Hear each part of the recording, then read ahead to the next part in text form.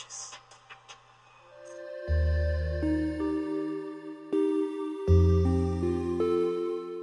Hey, what's going on everybody? It's ETA Prime back here again. Today we're going to be taking a look at a brand new handheld console coming to the market known as the Abxylute.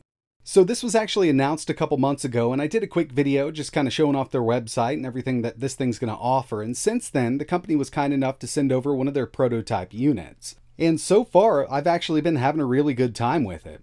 This video is kind of a first look. We're not going to go into uh, performance figures and things like that with this one. I will have a full review coming up in the next couple days, so keep an eye out on the channel. But in this one, we'll be taking a look at the specs, a little bit of gaming and emulation on this new device.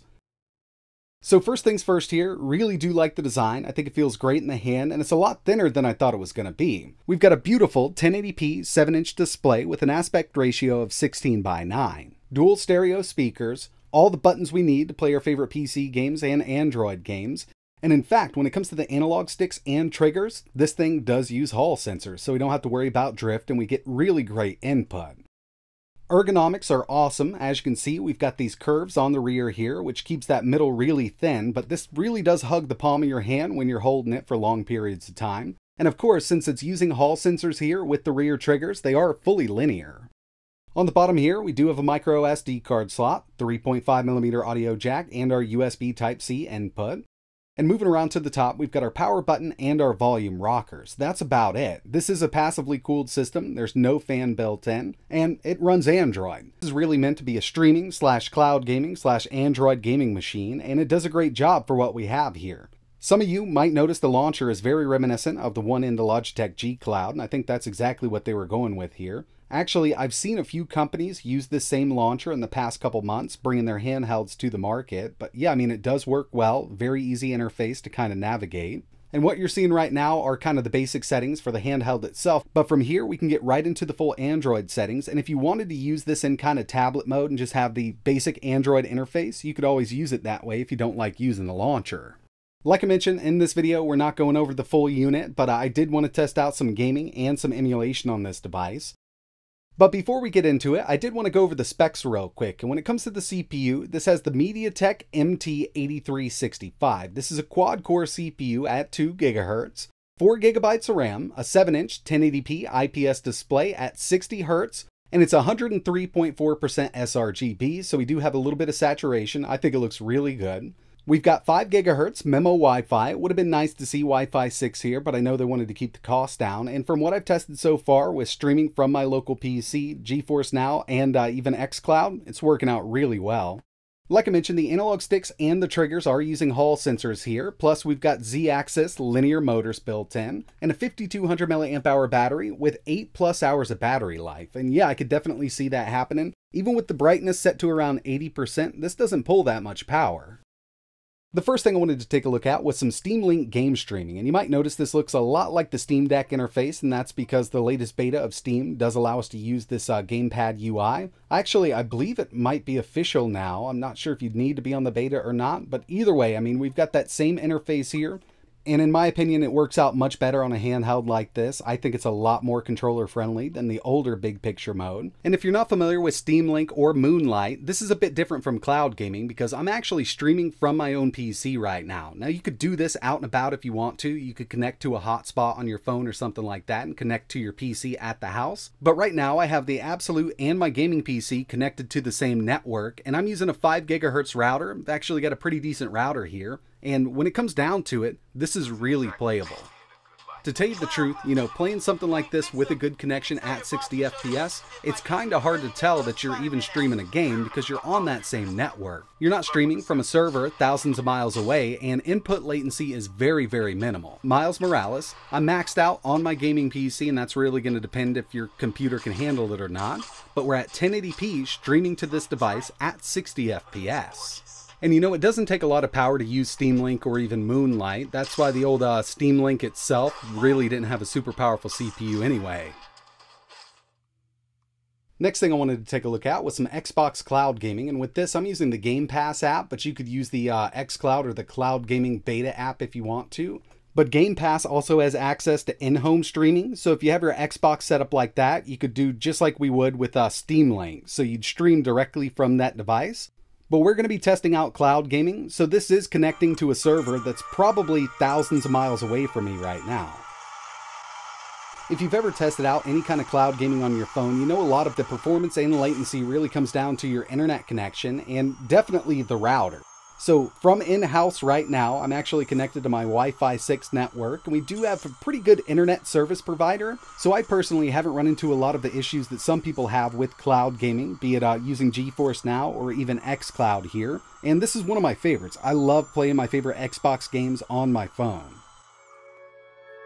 Now, if you're not into the Xbox and you've got a PlayStation 4 or PlayStation 5, you can always use Remote Play.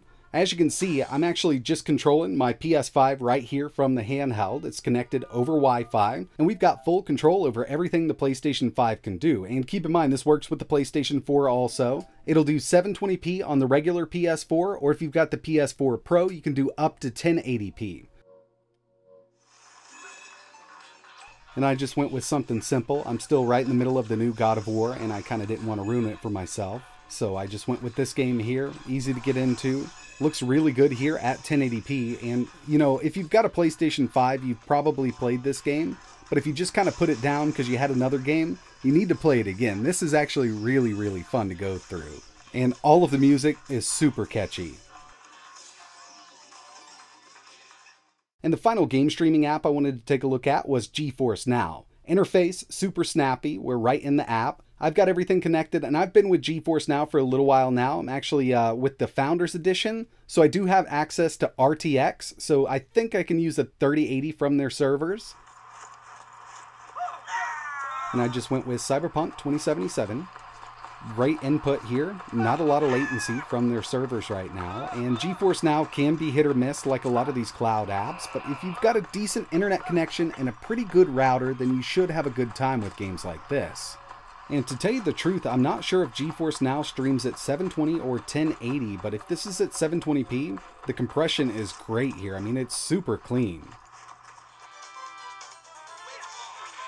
And before I wrap this video up, I did want to take a look at a little bit of emulation. We're going to go light here because we don't have a super powerful CPU, but first up we've got some Dreamcast using the Redream emulator with Marvel vs. Capcom 2.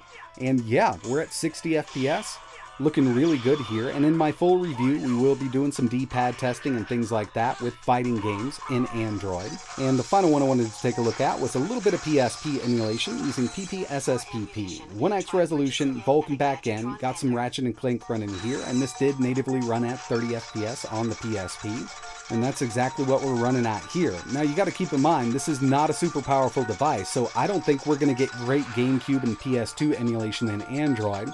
But if you've got a PC set up using Moonlight or Steam Link, you could always stream your favorite emulators from that. Obviously, a lot of people are going to be comparing this to the Logitech G Cloud, so I wanted to give you a quick look here. This is a thinner, sleeker device, and we've also got those Hall sensors with the joysticks and the analog triggers, but there are a few more differences, and we'll go over that in my full review video. So overall, I'm really liking the design that they've come up with here. It's very comfortable to hang on to for long periods of time. It's pretty lightweight, and uh, overall, I mean, I think it's the perfect size for a handheld like this. Screen looks really great awesome controls. I do need to mess around with this D-pad a little more when it comes to fighting games just to get a feel for it. But uh, again, I will have a full review video coming up in the next couple days. I definitely want to spend a little more time with it. And I also wanted to show off tablet mode here.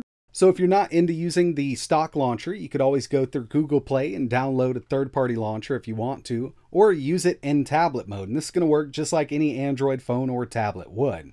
And I do think this would come in handy for using different applications that aren't really meant to be used with a controller, but we have also got full mapping software right out of the box with this unit. So obviously, an Android-based cloud gaming device isn't for everybody, and I completely understand that, but there are people out there that would love to have a device like this at a lower cost than some of the other stuff that's on the market right now, and I think that's what they're trying to accomplish here. And even though there's more powerful handhelds out there, I still think that there's a market for these as long as they can get that price right. So if you're interested in learning more, I'll leave a link to their website and Discord in the description below. You can head over to their Discord and ask some questions if you want to. But definitely keep an eye on the channel because my full review video is coming out and I'd like to know from you, what do you want to see running on this when that video comes? Let me know in the comments below. And like always, thanks for watching.